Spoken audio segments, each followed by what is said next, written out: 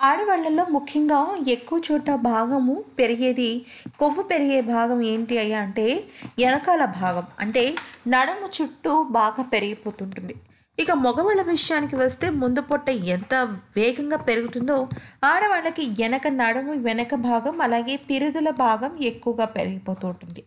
అయితే ఇది సాధారణంగా ఆడవాళ్ళకి ఉన్న జెనెటిక్స్ వల్ల కానీ లేకపోతే ఎక్కువగా కూర్చుని పనిచేసే ఆడవాళ్ళకి కానీ ఇది సర్వసాధారణంగా వస్తూ ఉంటుంది కొంతమందికి పిల్లలు పుట్టిన తర్వాత కానీ లేకపోతే హార్మోనల్ ఇంబ్యాలెన్స్ వల్ల కానీ కూడా పెరుదులు పెరగటం నడుము వెనకాల కొవ్వు పెరగటం నడుము కింద భాగం పెరగటం లాంటివి జరుగుతుంటాయి.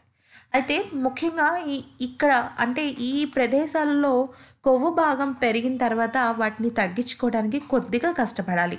ఎందుకంటే మనం బరువు తగ్గడం మొదలుపెట్టినప్పుడు మనకి మొదటగా మొహంలో ఉన్న కొవ్వు ఆ తర్వాత కింద భుజాలు చేతులు అలాగే ఛాతీ భాగం పొట్ట చివరాఖరికి పిరుతులు అలాగే తొడలు తగ్గుతాయి.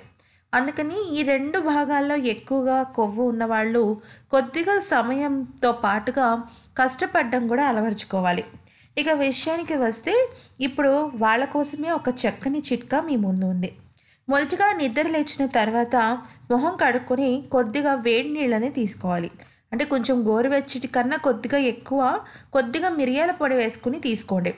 అలా తీసుకున్న ఒక పావు గంట ఇరవై నిమిషాల తర్వాత ఇప్పుడు మనం తెలుసుకోబోయే రెండు వ్యాయామాలు కనుక చేస్తే చాలా వేగంగా తొడలు పెరుతులు అలాగే నడుము భాగం తగ్గుతుంది. ఇప్పుడు మీరు చూస్తున్నట్టుగా మొదటిగా నిటారుగా నిలబడాలి. ఆ తర్వాత ఒక ఒక కాలు పైకి లేపి అది ఛాతీ భాగం లేకపోతే నడుము భాగం. మీరు ఎంత పైకైతే ఎత్తగలరో కాలుని అంత పైకి ఎత్తాలి.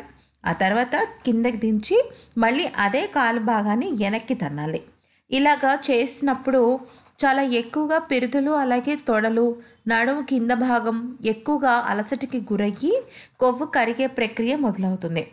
ఇక మరొక విషయం ఏంటి అంటే కాలు ఎత్తినప్పుడు మీరు ఎక్కువసేపు ఉంచడానికి ప్రయత్నించండి. అంటే ఐదు సెకండ్లు ఆరు సెకండ్లు అలాగా. మొదటిగా పదిసార్లు చేయడం అలవర్చుకోండి. ఆ తర్వాత చిన్న చిన్నగా మూడు లేదా నాలుగు ఐదు అలా పెంచుకుంటూ వెళ్ళండి.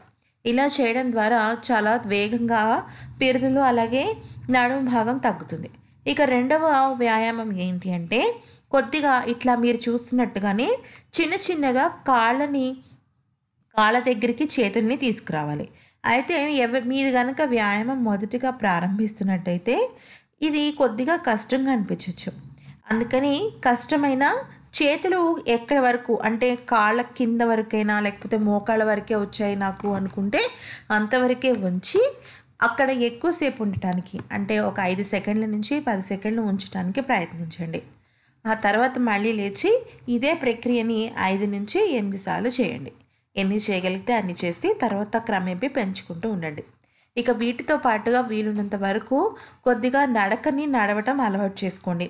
అంటే లిఫ్ట్ లేకపోతే వేరే ఏదైనా కన్నా మెట్లెక్కి దిగటం లేకపోతే మీరు ఏదైనా కూరగాయలు కొనుక్కోవాలి లేకపోతే ఏదైనా పచారీ సామాన్లు కొనుక్కోవాలి అనుకుంటే చక్కగా మీరు చేయవలసింది ఏంటంటే ఆటో లాంటివి కాకుండా మీరే నేరుగా వెళ్ళి తెచ్చుకోవటం వల్ల పెరుదుల్లోనూ తొడలోనూ నడుము చుట్టూ ఉన్న భాగాల్లో కొవ్వు చాలా వేగంగా కరిగిపోతుంది.